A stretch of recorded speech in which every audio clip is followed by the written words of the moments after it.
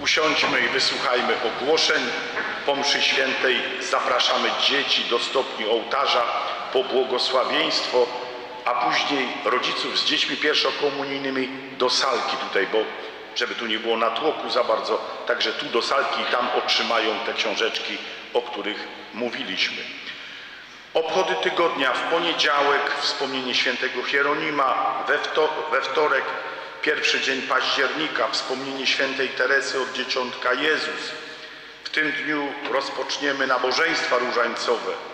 W naszej parafii Różaniec w tygodniu odmawiamy pomszy świętej, w soboty zasadniczo o 16.30, a w niedzielę o 15.00. W środę drugi dzień października wspomnienie świętych aniołów stróżów, w piątek wspomnienie świętego Franciszka z Asyżu, w sobotę wspomnienie świętej Faustyny Kowalskiej. W tym tygodniu przypadają pierwszy czwartek, piątek, sobota miesiąca. W czwartek modlimy się o nowe powołania kapłańskie i zakonne. W piątek oddamy cześć Najświętszemu Sercu Pana Jezusa. Msza święta także rano o godzinie ósmej. Spowiedź pierwszopiątkowa przez cały tydzień, a w pierwszy piątek od 16. W sobotę uczcimy niepokalane serce Najświętszej Maryi Panny. Rano zapraszamy róże różańcowe i chętnych o 7.30 na różaniec. Drugi kapłan od godziny 8 uda się do chorych, a po południu w sobotę, tym razem o 16.15 różaniec za zmarłych y, wypominanych w wypominkach rocznych. Zachęcamy, moi drodzy, aby wtedy przyjść troszkę wcześniej i aby tą modlitwę za zmarłych odmówić. Wszystkich zachęcamy do czytania prasy katolickiej. Jest gość niedzielny, nowy numer także Głosu Świętego Marcina. Jest to wszystko dostępne. Zachęcamy, aby po prostu jakiś, powiedzmy jakaś gazeta znalazła się y, w naszym domu. Tydzień temu zbieraliśmy i modliliśmy się w intencji powodzian. Y, Bóg zapłać za złożoną ofiarę. Złożyliśmy na ten cel i przekazaliśmy do Caritas diecezji bielsko-żywieckiej 12 145 zł. Myślę, że to jest dobra suma, jak każdy coś tam dołoży. Jeżeli to wszystko do, dobrze zostanie rozdysponowane, to na pewno bardzo wielu osobom pomoże. Bóg zapłać za tą naprawdę bardzo szczodrą ofiarę. Pragnę też podziękować, bo nie wiem, czy Państwo zauważyli, kiedy wchodzili do kościoła, y, tutaj jak będziemy wychodzić z kościoła po prawej stronie, odrestaurowano figurę Matki Bożej Szkapleżnej, panu Kazimierzowi i Andrzejowi za to, że podjęli się tego trudu.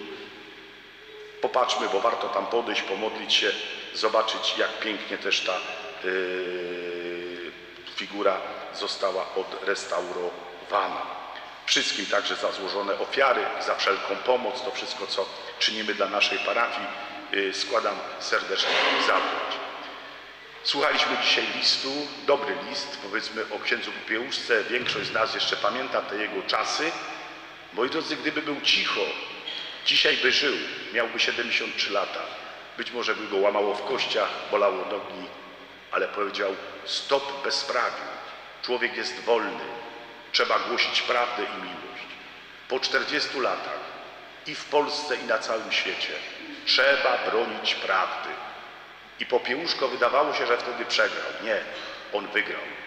Wygrał, bo przypomina nam wszystkim, że są wartości, których, moi drodzy, nie wolno pójść na kompromis, żeby nie być deprawatorem.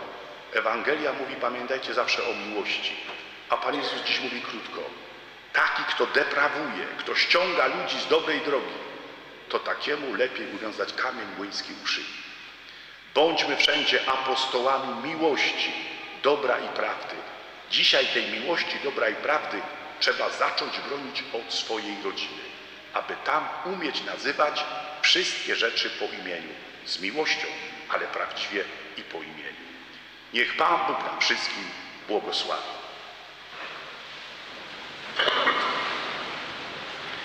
Pan.